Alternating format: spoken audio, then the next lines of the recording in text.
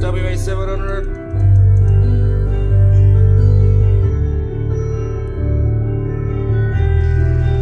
Yeehaw.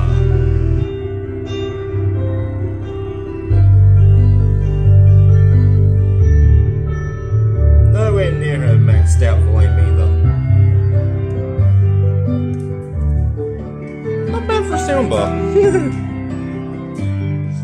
it's the 950A with the subwoofer transmitter card from its original sub put into the 700.